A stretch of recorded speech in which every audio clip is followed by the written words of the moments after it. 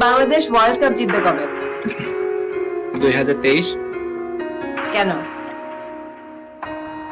আমার শেষ world cup এক যুগের বেশি সময়েও ক্রিকেট বোর্ড তৈরি করতে পারেনি আর একটা সাকিব তামিম কিংবা মাশরাফি। এই মাশরাফি মুশফিক সাকিব তামিম রিয়াদরা কত শতবার যে আনন্দাশ্রুতে ভাসিয়েছে গোটা জাতিকে।